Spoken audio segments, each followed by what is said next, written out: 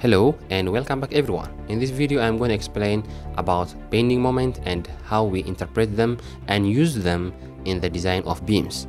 Well, let's start.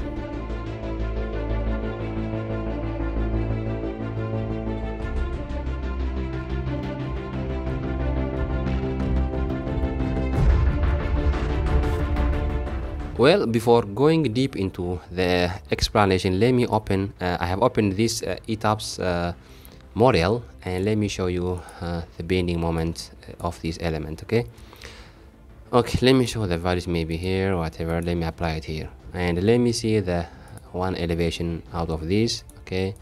Now this is the elevation these horizontal members are the beams and these vertical ones are the columns now here if you uh, pay close attention to this bending moment shows me the variation the bending moment diagram shows me the variation of the bending moment along the length of the beam okay? Started from this end and in this at this end okay?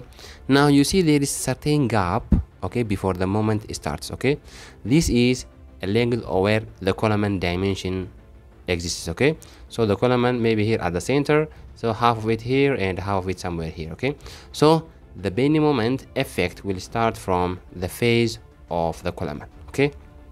Now our main topic is how we use them and how we interpret them.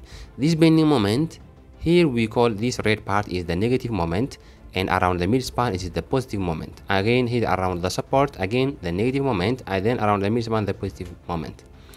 Well here the bending moment shows us exactly where we need to provide our main reinforcement, our main longitudinal reinforcement that will resist the bending effect.